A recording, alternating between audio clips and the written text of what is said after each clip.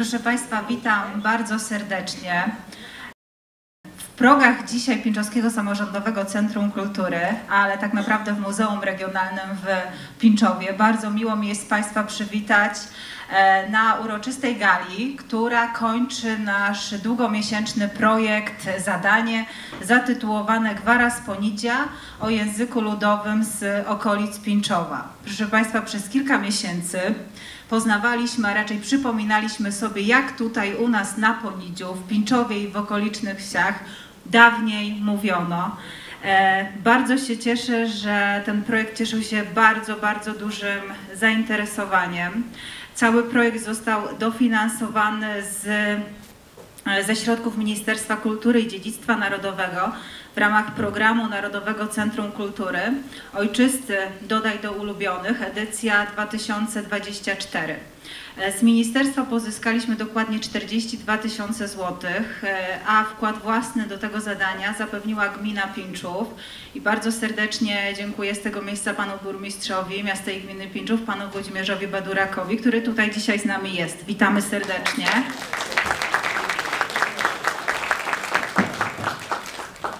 A skoro już powitaliśmy pana burmistrza, to powitamy innych zaproszonych gości. E, witamy przewodniczącego Rady Miejskiej w Pińczowie pana Zdzisława Woźniaka. Wiceprzewodniczącego Rady Miejskiej w Pińczowie pana Zdzisława Midera. Wiceprzewodniczącą Rady Miejskiej w Pińczowie panią Martę Łaskawiec. Jest z nami również pani Mirosława Wiśniewska, skarbnik gminy Pińczów. Proszę Państwa, witam osoby, e, z którymi przez te kilka miesięcy tutaj ściśle współpracowaliśmy i tak naprawdę bez których ten projekt, e, no myślę, żeby się nie udał, więc bardzo, bardzo serdecznie witam wykładowców z Uniwersytetu Jana Kochanowskiego w Kielcach, dokładnie z Instytutu Literaturoznawstwa. Jest z nami pani profesor Marzena Marczewska. Pan profesor Stanisław Cygan. Pani doktor Alicja Trukrzyn. I pani doktor Eliza Koszyka-Rak. Witamy serdecznie. Proszę Państwa, witam wszystkich, wszystkich. E, nie będę wymieniać e, poszczególne, są z nami różne stowarzyszenia. Witam, witam Stowarzyszenie Ludowe Chata Bogucka, e, Stowarzyszenie Seniorów. Bardzo, bardzo się cieszę, że Państwo tak licznie tutaj dzisiaj do nas, do muzeum przybyli. Jest na... Brawo! Witam również media. Są z nami telewizja Pińczów Swoje Miasto e, oraz portal pińczowska.com. Witamy. Proszę Państwa, e, ja jeszcze muszę dodać, e, że partnerami w projekcie, które realizowało Muzeum Regionalne w Pińczowie była Miejska i Gminna Biblioteka Publiczna w Pińczowie, lokalna organizacja turystyczna Ziemi Pińczowskiej, Liceum Ogólnokształcące w Pińczowie, Muzeum Wsi Kieleckiej oraz Kieleckie Towarzystwo Naukowe. Bardzo, bardzo serdecznie dziękuję. Brawa. I proszę Państwa, chwilę na temat samego projektu, bo ten projekt realizowany był tak naprawdę przez kilka dobrych miesięcy. E, rozpoczęliśmy e, wykładami i mieliśmy okazję i przyjemność gościć e, Państwa tutaj z Kielc, którzy w zasadzie co tydzień przyjeżdżali do nas i opowiadali nam właśnie o gwarze z Pińczowa, o tradycjach, o zwyczajach z Ponidzia.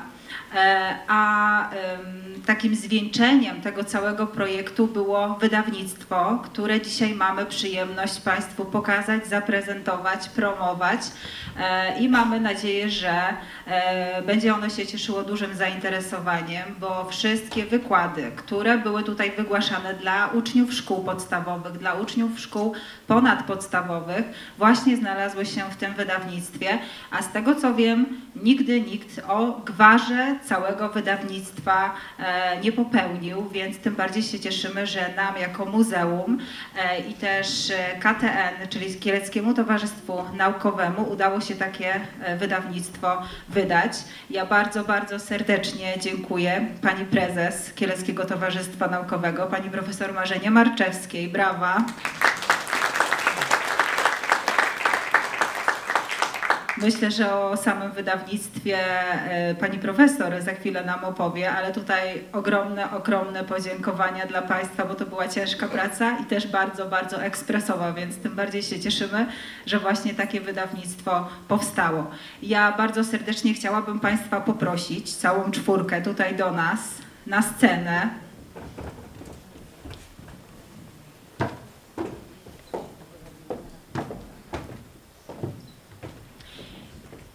I chciałabym poprosić też pana burmistrza, bo chcielibyśmy wręczyć e, podziękowania państwu przygotowane właśnie przez muzeum, przez pana burmistrza.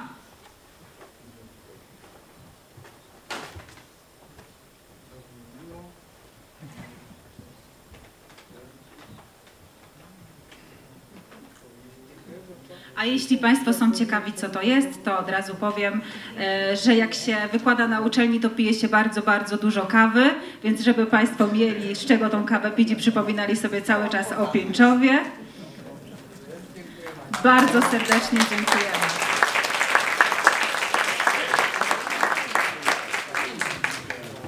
A teraz prosiłabym o zabranie głosu, chyba najpierw pani profesor, która nam trochę opowie o samym wydawnictwie KTN, ale też o przygotowywaniu tej książki.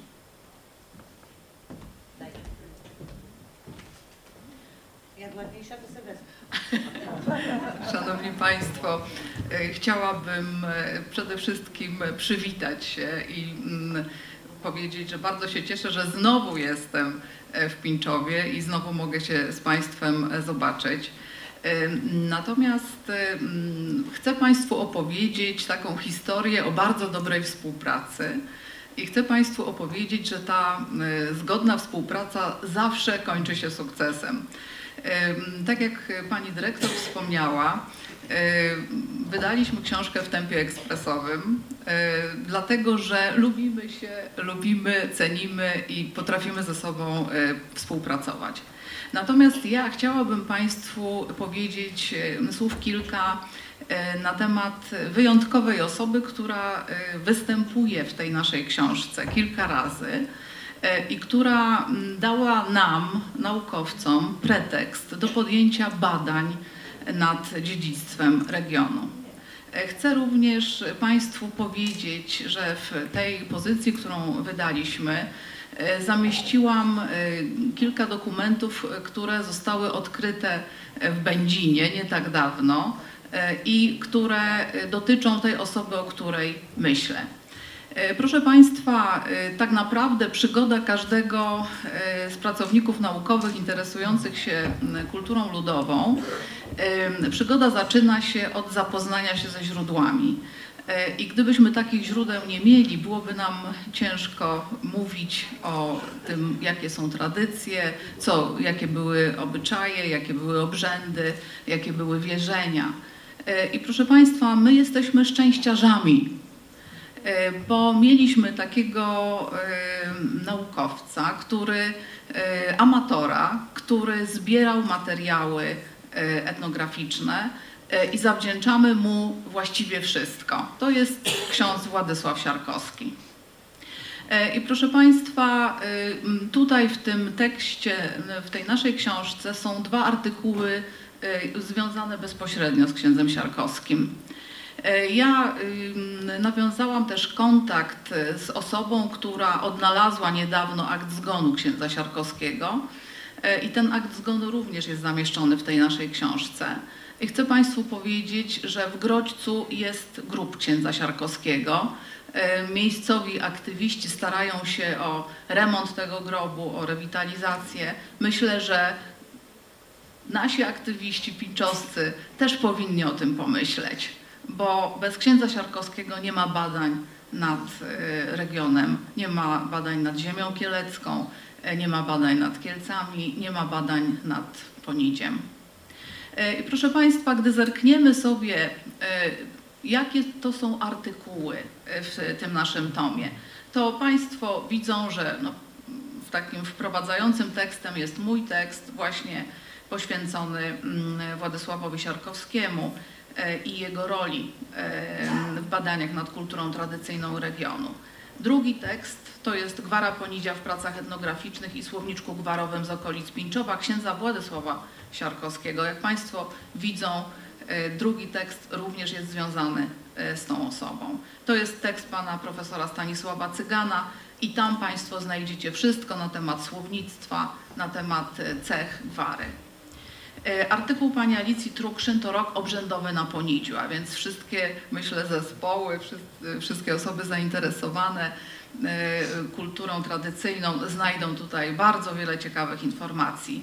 Natomiast tom e, kończymy takim tekstem Świat zwierząt w twórczości Adolfa Dygasińskiego w kręgu wierzeń i wyobrażeń ludowych z Ponidzia, żeby pokazać, jak bardzo kultura ludowa jest ważna w zrozumieniu E, twórczości literackiej również.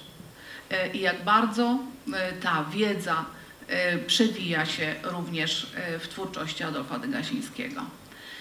Proszę Państwa, ja mam przyjemność być prezeską Kieleckiego Towarzystwa Naukowego, czyli takiego towarzystwa, które popularyzuje wiedzę również o regionie. W związku z tym chciałam podziękować Pani Dyrektor Justynie Dziadek. Chciałabym podziękować również e, panu burmistrzowi, który z życzliwością odniósł się do tej inicjatywy. E, za to, co państwo e, teraz robią, za to, że naprawdę to zainteresowanie twórczością ludową, kulturą ludową, językiem jest tutaj u Państwa kultywowane. Bardzo za to serdecznie dziękuję i oddaję głos panu profesorowi Cyganowi.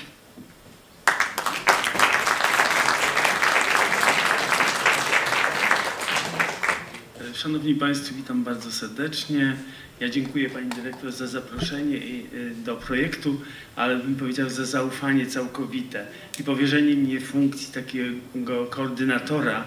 Dlatego można powiedzieć, że dobrałem zespół niezwykły, a tutaj jest moja serdeczna przyjaciółka, dyrektor Instytutu w poprzedniej kadencji, pani profesor Marzena Marczewska i prezeska Kieleckiego Towarzystwa Naukowego, moja serdeczna, jak powiedziałem, przyjaciółka od lat. Razem zaczynaliśmy swoją pracę zawodową. E, ale chcę powiedzieć o dwóch moich naukowych córkach, mianowicie w kolejności jednak, może nie jeśli chodzi o wiek, ale o porządek uzyskiwania stopni naukowych.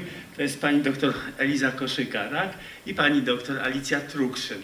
Także panie pod moim kierunkiem napisały swoje prace doktorskie i oczywiście jestem też bardzo wzruszony, kiedy myślę o mm, tym czasie, kiedy te prace e, powstawały. E, jeśli chodzi o samą publikację, popatrzmy na okładkę i tutaj oczywiście z tego, mm, w tym flakonie znajdują się słowa gwarowe charakterystyczne dla Ponidzia. Słowniczek gwary ludowej z okolic Pińczowa E, dokładnie z parafii Kije pod Pińczowem księdza Sierkowskiego, liczy 162 wyrazy hasłowe. I one tutaj są, można by się zastanowić, jak to słownictwo żyje, czy ono jeszcze jest żywe, czy funkcjonuje. I gdybym kogokolwiek tutaj zapytał, no to myślę, że taki posmykacz, nie wiem czy Państwo wiedzą, kto to jest, posmykacz.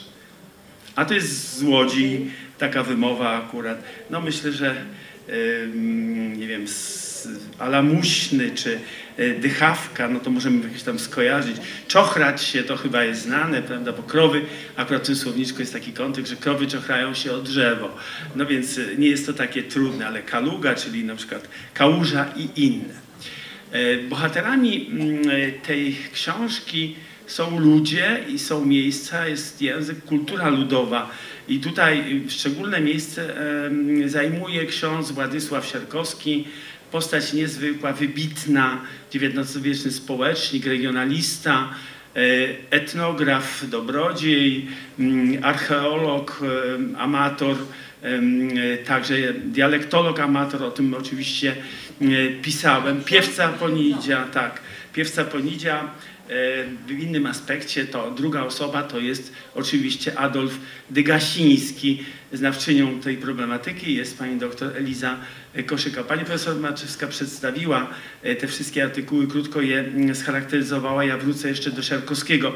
Otóż to na ważność tych prac i poszukiwań naukowych, to też było dosyć ciekawe, że w XIX wieku na prowincji, mówimy o inteligentach e, na prowincji, którzy mieli taką szczególną pasję w dobie niewoli narodowej w imię czynników patriotycznych, gromadzenia, kolekcjonowania wszystkiego, co dotyczyło ojczyzny, a tutaj w tym przypadku małej ojczyzny. Także możemy być dumni, że jesteśmy z Pińczowskiego i tutaj ksiądz Siarkowski nam to, to, to miejsce pokazał. E, chcę powiedzieć, że przecież te materiały weszły do dzieł wszystkich Oskara Kolberga Kieleckie, czyli tom 18-19.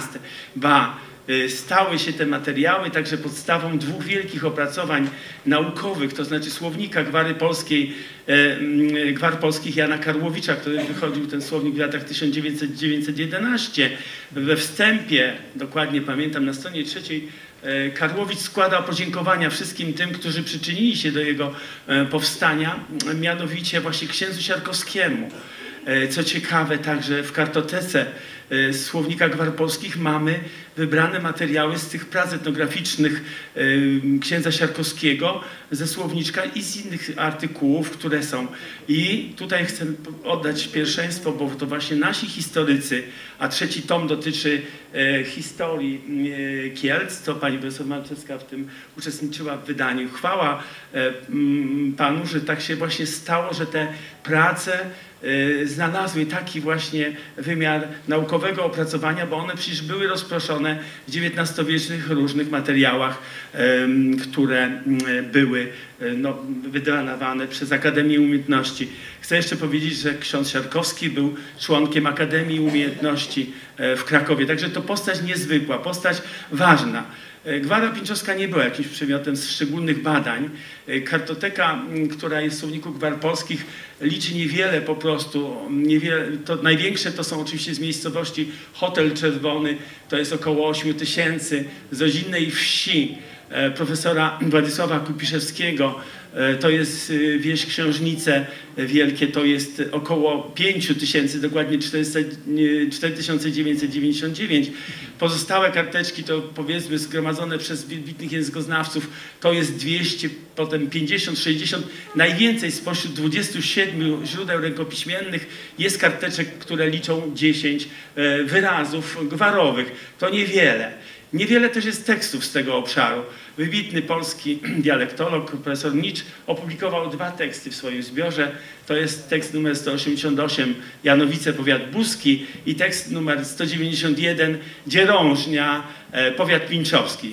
Tutaj akurat tak się dobrze składa, że e, spotkałem się ze swoją e, studentką po latach, panią mm, Wiesławą, nauczycielką, teraz mi Buczek chyba, jeśli dobrze pamiętam, chyba nie pomyliłem, tak i po latach się przypomnieliśmy. Także mm, to są rzeczy, które są niezwykle ważne i bądźmy dumni po prostu, że to właśnie Siarkowski tę małą XIX-wieczną ojczyznę pozostawił nam w spadku i to dziedzictwo językowo-kulturowe, które tutaj szczególnie, szczególnie ten element kulturowy został podkreślony przez panią doktor Trukrzyn, e, znawczynię doskonałą kultury ludowej regionu świętokrzyskiego, że on nam pozostawił tak istotne, e, istotny fragment tego językowo-kulturowego dziedzictwa świętokrzyskiego. Dziękuję bardzo.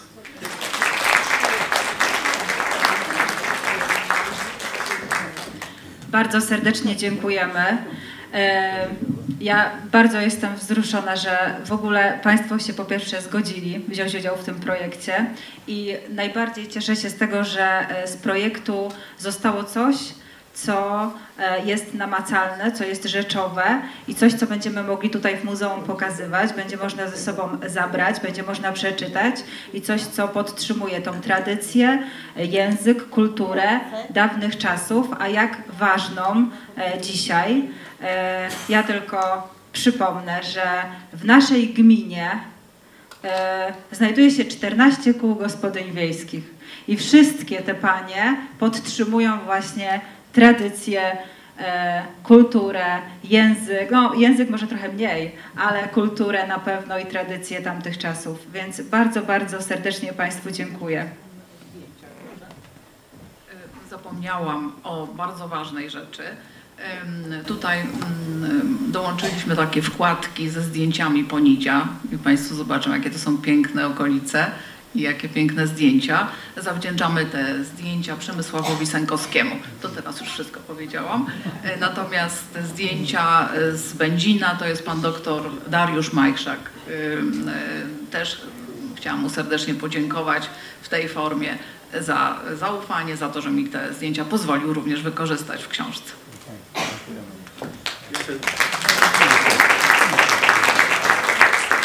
I jeszcze mały dodatek chciałem powiedzieć, że o Ponidziu mówiłem na międzynarodowej konferencji naukowej w Ostrawie i szczególnie zaprosiłem po prostu, aby Państwo mogli przyjechać i y, o naszych uzdrowiskach, czyli Busko i Solec promowałem, ale pokazywałem slajdy, zdjęcia z Ponidzia, między innymi też te kolorowe y, zdjęcia, które są w tej publikacji. Także Ponidzie jest znane i Pinczów i okolice jak najbardziej już za granicą.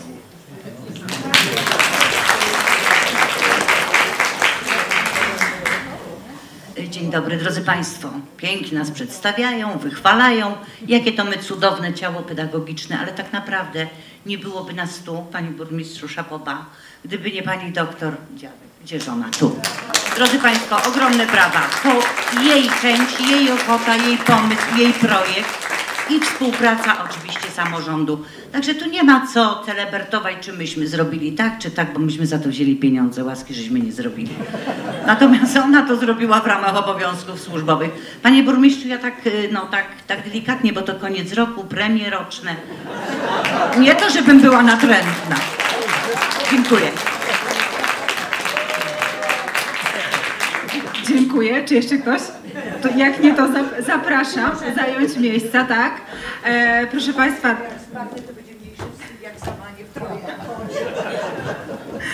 E, to dosyć teraz e, ściśle o nauce. E, w ramach dzisiejszej gali, oprócz tego, że promujemy książkę, i proszę Państwa, kto będzie chciał, to będzie mógł ją zabrać ze sobą do domu, e, to przygotowaliśmy jeszcze kilka innych wydarzeń.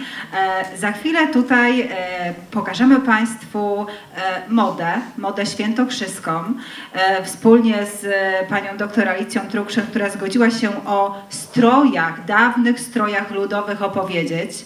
E, I za chwilę zaprezentują się przed Państwem e, uczniowie Liceum Ogólnokształcącego w Pińczowie. A w związku z tym, że partnerem naszego projektu było Muzeum Wsi Kieleckiej, to właśnie z Muzeum Wsi Kieleckiej wypożyczyliśmy dokładnie trzy stroje, męski i damski, czyli razem sześć. E, Strój kielecki, świętokrzyski i sandomierski. No niestety mm, nie mogliśmy wypożyczyć tego, który jest najbliższy naszemu sercu, czyli stroju krakowskiego, bo strój krakowski znajduje się na wystawie stałej, ale mamy tutaj zdjęcie i można na telewizorze, e, zmieniają się slajdy, zobaczyć jak ten strój e, wyglądał, a pani Alicja na pewno o stroju opowie, więc proszę Państwa, zapraszam teraz na pokaz mody, mody strojów ludowych.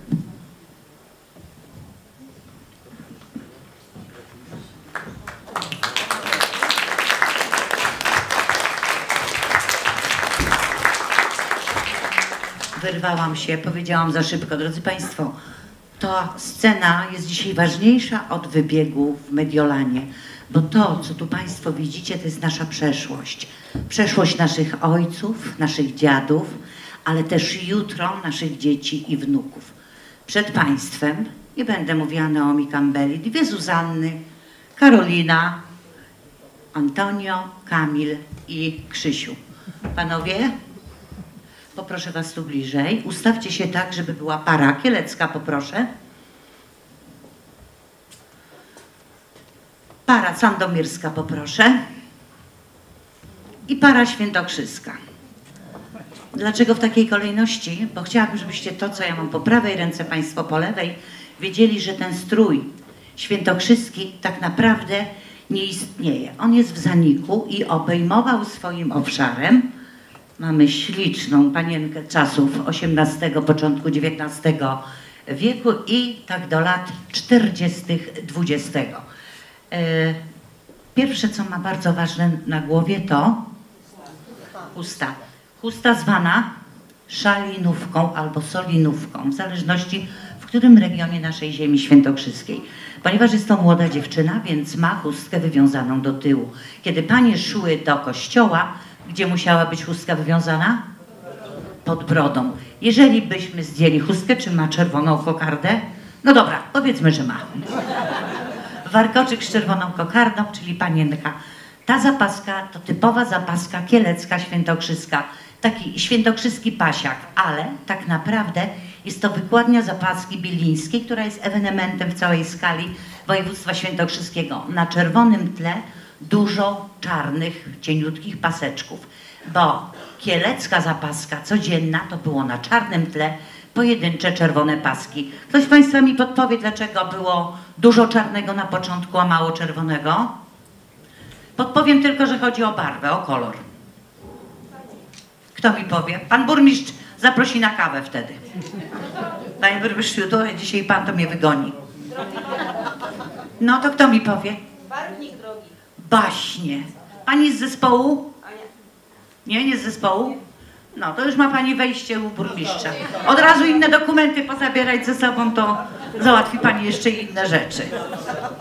Pan burmistrz uśmiecha się, znaczy będzie kawa. Dziękuję. Widzicie, co jeszcze kto chce załatwić, to tutaj państwo przyjmują, ja będę mówić, pan burmistrz będzie przytakiwał. I to było mój ostatni pobyt u was, tak. To jest zapaska naramienna, wełniana. Wszystko, co nosiły nasze babcie, prababcie, to były materiały naturalne. Wszystko wyrosło w domu, nic nie było kupne. Może z wyjątkiem zamorskich czerwonych korali, które jeden sznur takich korali to było trzy krowy. Jeżeli były to duże, duże korale. To są tak zwane plastikowe koraliki. Jak będziemy mówić o stroju bardzo szybko, bo mam 20 minut, powiedziała mi pani doktor, że mam się w tym zmieścić. Jak będziemy mówić o krakowskim, bo we wszystkich tych strojach czerwone korale być musiały. To jest naramienna zapaska, jest jeszcze przedsiębna i oczywiście spódnica z sukna, a pod spódnicę zaglądać dzisiaj nie będziemy, bo była tam haleczka, też spódna, była to jednolita, czasami odcinana jako halka i bluzka u góry, szyta na stójce, stójka, jak Państwo widzicie, od 3 do 9 centymetrów, bo jak była wywijana, robiła za kołnierzyk, czarno-czerwonym, a potem z dodatkiem niebieskiego haftu wykończona, tak samo i rękawy. Do tego jeszcze były tak zwane świąteczne koszule, do tej stujeczki doszywano albo doszydełkowywano, no to już później, a wcześniej na drucie, na drutach robiono bardzo ładny kołnierz. Teraz są znowu modne. Gorset. Mówi się, że nasz jest słaby w barwy. Wy macie komfort, macie eklektyzm, macie trochę świętokrzyskiego, ale dużo więcej krakowskiego. No, jeszcze trochę mniej niż mają zakopiańcy, niż mają górale. Ale nasze gorsety prostą wstążeczką przeszywane, szebrowane nicią pojedynczą, koraliki pojedyncze jakieś tam, nie były to przepychowe. Ale wszystkie miały albo kaletki, albo... Kaletki to są takie wycięte łezki. Albo, wiecie jak to się nazywa? Kto mi powie z zespołu? Z, no? Głośno. Też pan burmistrz zaprosi na kawę. Baskinka, dokładnie. E, Dlaczego baskinka i dlaczego, dlaczego kaletka? Z czego to wynikało? Też zespoły powinny wiedzieć. Z biedy, słuchajcie.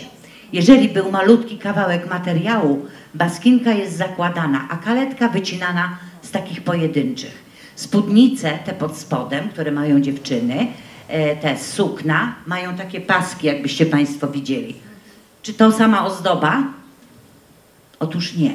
Spódnice były szyte ze względu na biedę, były szyte dłuższe w miejscu, w miejscu gdzie zaszywane były, żeby były do ziemi, młodej dziewczynie krócej, potem odpruwano i żeby nie było widać miejsca już takiego spranego, naszywano wstążeczki. Oczywiście ilość wstążeczek zależała też od majętności rodziców, bo to było drogie zdobienie. I koniecznie trzewiki, młode dziewczyny czerwone, trzewiki skórzane, z obcasikiem, z podkóweczką, na zasadzie podkuwecki dejta ognia, bo Hanusia tego godno. A cy godno, cy nie godno? Dokładnie, no i słuchajcie, można liczyć? Można. Jak myślicie, skąd ja to wiem? Od Państwa to wiem właśnież. I tak wyglądał strój naszej modnej, świętokrzykieleckiej, przepraszam, dziewczyny. Dziękuję. No ale jak dziewczyna, to i kawaler. To proszę. Zauważcie Państwo, ja zawsze krzyczę, że krajkami obwiązane mają panowie koszule wypuszczone na... Ja Cię będę młody rozbierać? Nikt nie widzi, udajecie, że nie wiecie o co chodzi. To jest krajka, świętokrzyska krajka, która jest wzorowana na pasie szlacheckim. Pas szlachecki miał zakończenie zwane... A, się wszyscy boją, a ja wam powiem. Mam tu dialektologa, kutasem był zakończony. Drodzy Państwo, a u nas frędzelkami to jest właśnie ta ozdoba i on właśnie, ponieważ były nie znano guzików, wcześniej guziki znano, tylko nie znano dziurek do guzików, to były haftki, a wcześniej nim były haftki, obwiązywano właśnie, rozbieraj się młody sam. To jest wierzchnia, jeszcze były pod spodem, o, o, o, tym mówię właśnie. E, to była wierzchnia sukmana z wyłogami. Najczęściej na naszej ziemi jeden wyłóg był tylko. Tutaj akurat jest taka dość stara, gdzie już był bogaty gospodarz, ma dwa wyłogi. Koszula w stójkę, jakby ją zmierzył faktycznie, ma te 6 cm od 6 do 9, już tu pięknie wykończona e, krzyżykiem świętokrzyskim. Do tego gacie porty, paski, ponieważ nie znano szlufek, więc paski nosili chłopcy, albo one były na gumce te spodnie, albo paski podtrzymywały. Kto z Państwa pamięta jeszcze spodnie dreichowe, jakiekolwiek inne, że tutaj pas, a tu pasek? Kto pamięta? Nie pamiętacie własnych dziadków, jak tak nosili? Bo nie było szlufek, właśnie coś takiego. Dlaczego tę tą koszulę wkładać trzeba było w spodnie? Ponieważ żaden szanujący się chłop do kościoła na uroczystość wielką, wesele, chrzciny, pogrzeb, nie poszedł z kosulą na, na wierzchu. Taką kosulę nosił tylko wtedy, kiedy szedł w pole przewiązaną rzemianym, cieniusieńkim paseczkiem albo parcianym sznurkiem. I to tylko służyło mu do zawieszania babki do, do kosy, dokładnie. Portki, tak jak i spódnice, tak i spodnie u nas brązowe, czarne, modre, niebieskie. E, dziewczyny spódnice bordowe, czerwone, zielone, granatowe, e, brązowe i to by było wszystko w takich kolorach. Także i oczywiście buty z cholewami. W buty wkładano tak zwany scyzoryk świętokrzyski, czyli mniej więcej takiej długości nóż, mieczyk, jakby to nie nazwał. I toż właśnie tak przychodzili chłopcy. Ta czapka służyła im do kłaniania się, nie tylko do oddawania szacunku, ale kiedy przyszli na wesele, na wiecorówkę, wpadało sześciu takich, ośmiu, dziewięciu i jak już potańczyli, czapkę nosili wtedy tak, i było wiadomo, że będzie zadyma. I było słowo lampa fu, czyli lampę zgasić i zaczynało się. Na świętokrzyskiej, na kieleckiej wsi, kłamę Państwa, na kieleckiej wsi wesele bez bitki nie było weselem.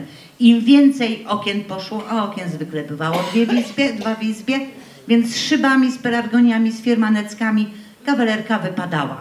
Było mordobicie i to była cała najlepsza tradycja. Siarkowski pięknie to opisał. Czy ktoś z Państwa jeszcze pamięta tą wiecorówkę? Tą, tą tańcowanie, nie, zabawy. Państwo pamiętacie zabawy na końcu wsi, ewentualnie u stryja, u wuja, albo w chałupie, gdzie dziełucha była do wydania. Ta czapka nazywa się jak? Z jednej strony, no, męska, no.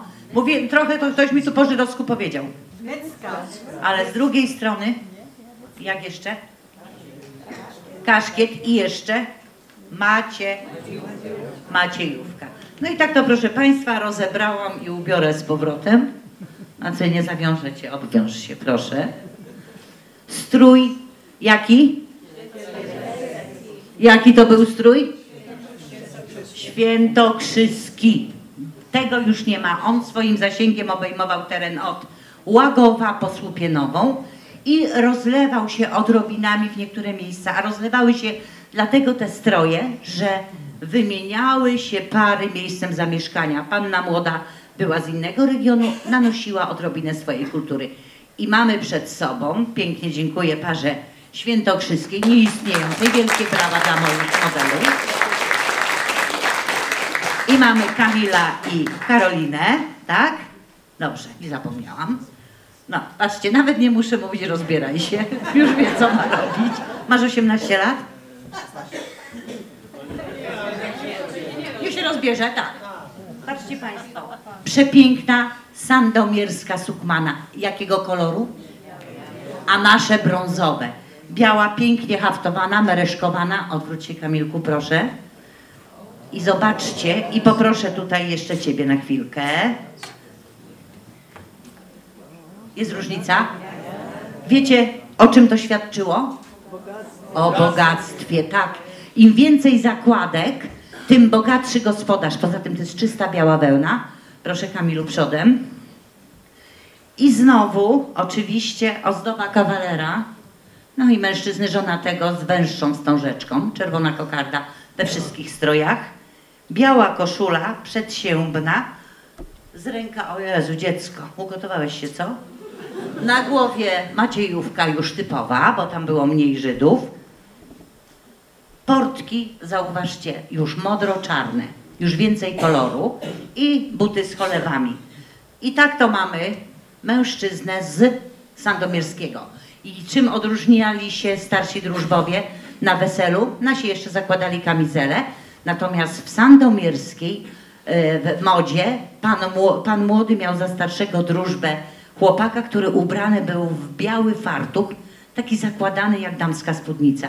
I to go odróżniało od innych weselników.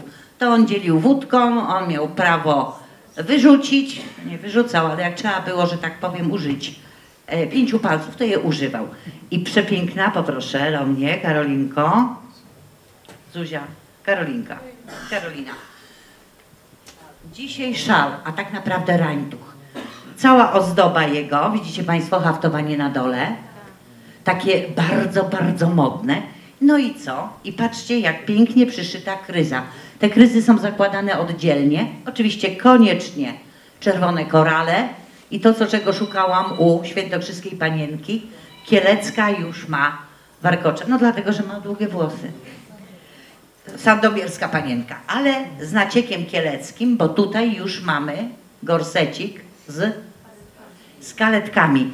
Troszeczkę mniej może strojny, ale za to bardzo intensywny w kolorze. Biały fartuch haftowany. Tu mieliśmy zapaskę przedsiębną, tak? Ale też fartuchy nosiły nasze dziewczyny. Piękny haftowany fartuch i znowu spódnica i piękne trzewiki. Gdybyście mnie Państwo zapytali, jaka bielizna do tego, otóż żadna, bo to było podszywane ta koszula i robiła za takie giezełko. Natomiast niewymowne, czyli stringów nie znano. Mężczyźni nosili, panie nie nosiły. I oczywiście czerwone i czarne skórzane sandałki, a na nogach, a na nogach wełniane, białe rajstopy, zrobione z wełny. Wyobrażacie sobie? Sama przyjemność. I teraz tak, zimą zakładały jeszcze panie na siebie. E, Zapaski używane były też na ramiona, ale częściej zakładały, dziękuję, bo ci ręka ścierpnie, częściej zakładały na siebie tak zwane jesionki. Kto z Państwa kojarzy takie pojęcie jesionka? Chusta taka wielka, tak, składana na e, kopertę i ona chroniła z jednej strony dłużej, mniej ramiona i całą osobę. Oczywiście trzymały się te panie tak. Dziękuję bardzo i zapraszam prawie że współczesny strój. Proszę do mnie. Na głowie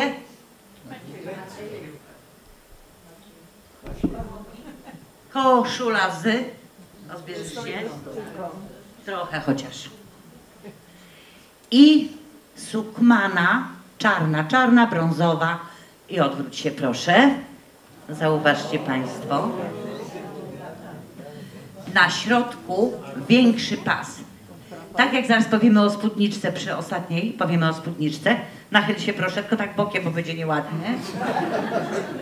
Patrzcie, co to się robiło. Prawda? Tak. Dziękuję Ci. I oczywiście buty, w których też noszono świętokrzyski scyzoryk. Zapraszam Zuziu. Ozdobna, krakowska, solinowa chustka z, z frędzlami. Przepiękna koszula przyramienne, podnieść rękę do góry. Nie wiem, czy Państwo będziecie tu widzieć. Taki e, rąb wstawiany i męskie, i damskie. Wiecie dlaczego? Otóż dlatego, że jak się zużyło to z czasem, to wycinano i wstawiano szerszy. Tak samo tu przyramienna, jeżeli rosła dziewczyna, rosła w górę, a taka koszula była naprawdę wytrzymała, więc wypruwano i wszywano, oczywiście ręcznie, nie maszynowo. Do tego piękny gorset też w kolorach kokardecki i korale czerwone, piękny fartuch, spódnica z paseczkami, albo gołe nogi, tak jak mówiłam, albo wełniane rajstopy i trzewiki na nogach sznurowane. Także drodzy Państwo, tak to Ci wygląda ta nasza moda i powiedzcie, taki mediolan jak te warioty z tymi kaskami na głowie chodzą albo porozbierane do połowy. Co piękniejsze? Nasze. Słuchajcie, piękne dlatego, że nasze. I wy wszyscy o tym wiecie, bo ja na wszystkich takich spotkaniach mówię, że ja nie odkrywam tu Ameryki, bo my wszyscy wiemy o tym, tylko nie pamiętamy, że wiemy. Kto sobie przypomniał takie coś z dawnych, dawnych lat? Ja chciałam coś zapytać, Tak? Y, bo widzę, że młoda dziewczyna jest y, w czerwonym stroju, a ja jak jeździłam z mamą do Kielc, widziałam Pani nie tylko w czerwonych, ale w zielono-czarnych pasiakach. Wszystkie miały takie. Jakie miały spódnicy nie pamiętam. Natomiast druga dziewczynka ma tutaj fartuch y, haftowany. Haftowany ręcznie, cięty, Tak, Richelieu. tak, tak. Więc u mnie y, była zasłonka na całym oknie i pytałam mamy, kto to robił? A mama mówiła, to z halki twojej babci. Babci. Wszystko było ręcznie, mówiłam Państwu. Dlaczego młoda dziewczyna mówi Pani? Otóż e, powiedziałam, że czarny kolor, tak? Zapaski. Na co dzień to jest wszystko strój odświętny, bo w szanującym się domu gospodyni w skrzyni miała trzy rodzaje ubrań.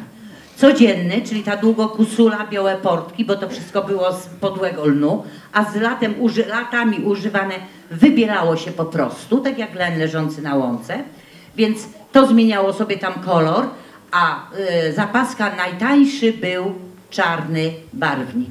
No i też czarne owce bywały. I dlatego ten tu jedna z pań podpowiedziała, że chodziło o y, koszt barwnika. Bardzo drogi był barwnik. Pani mówi, nawet miała pani prawo widzieć pomarańczowo, zielono, prawie że różowy, e, jak i jeszcze taki turkusowy. Ale to wszystkie panie miały. Wszystkie panie, ale to wszystkie panie musiały być z jednego miejsca. Bo my leżymy w środku, a wokół nas otaczają nas inne województwa. Inkorporowaliśmy. Jest strój kielecko-włoszczowski. Państwo macie jeszcze krakowski. Ale chodzi o to, że u nas w Pińczowie tego nie widziałam, tylko jak Dokładnie, do miejsca. Kielc, dopiero tam Tak. widziałam. Dokładnie miejsca, ale tu pani widziała krakowskiego więcej. Tu pani widziała piękne, barwne zapaski były gorsety. i gorsety piękne, barwne i tiulowe fartuszki. A u chłopców, y, bo to tak, żeby było szybko, dokładnie to samo wszystko, co u nas, chustki, tylko inaczej trochę wiązane, y, nie bardziej do tyłu zakładane i oczywiście stateczne matrony, tak jak ja, winnam nosić pod chustką, co? Czepek biały, tak.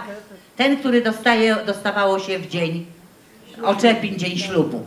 W krakowskim jeszcze nasi mają pasy krajkowe, a tam mają pasy i takie nakówki, kółeczka, jak one się nazywają, brze. No głośno. A będzie kawa? Panie burmistrzu, będzie kawa? Będzie kawa. No, jak się nazywają? A, nie będzie kawy. Brzeł. Brzęczki, brzęczyki. W zależności w którym miejscu od krakowskiego. U nas brzęczyki mówiono i brzęczki też mówiono. Tiulu więcej, y, tak samo kaletki u y, gorsecików, ale gorseciki dużo, dużo bardziej haftowane, y, wciągane w rękawy, były wciągane, wiązane, ale więcej haftowane tutaj. Generalnie słuchajcie, wy macie ten komfort, że macie przepiękną czapkę zwaną jak? Krakowską, jak ona się nazywa? Krakus. Krakuska, dokładnie. I pawie pióra. I teraz patrzcie, to jest taki, bym powiedziała, ewenement y, w pojmowaniu. Krakowiacy występują w czapkach z piórami pawimi i występują na scenach. A w krakowskim teatrze było tak, nie tylko krakowskim, warszawskim też i w ogóle wierzono, że jeżeli aktor wchodzący na scenę zobaczy pawie pióro albo pawia, to nieszczęście. A krakowiacy żyją ci se, a wy przy nich przy okazji też w tej, w tej barwie, w tym kolorze się ogrzewacie. Także jesteście na styku dwóch różnych strojów. Coś jeszcze? Czy już mogę Państwu podziękować za cierpliwość? Dziękuję pięknie, moim aktorom też dziękuję.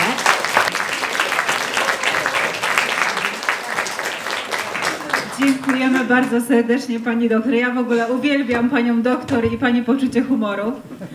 E, a teraz przedstawię z prawdziwego imienia i nazwiska. Proszę Państwa, naszymi modelami byli uczniowie Liceum Ogólnokształcącego imieniem Hugona Kołątaja w Pińczowie.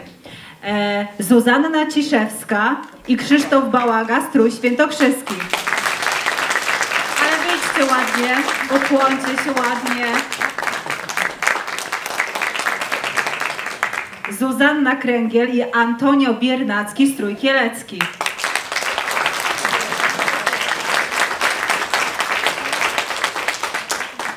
Karolina Śliwa i Krzysztof Bałaga, strój sandomierski.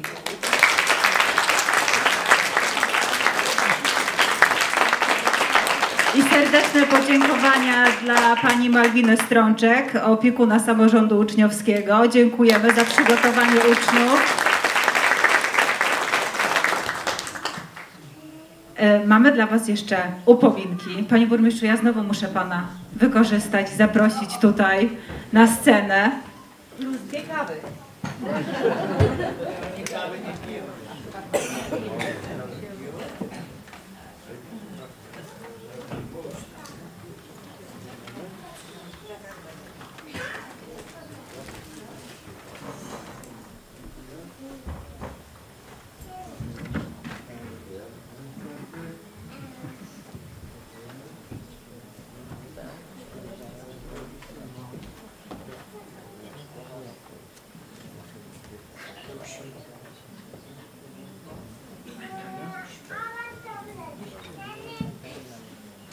Dziękujemy serdecznie.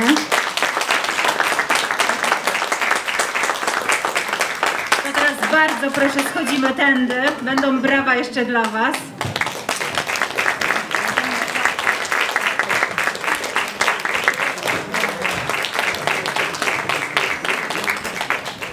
Proszę Państwa, a teraz chwila przerwy, trzy minuty, bo teraz zapraszamy Państwa na koncert. Koncert zespołu pieśni i tańca Kielce.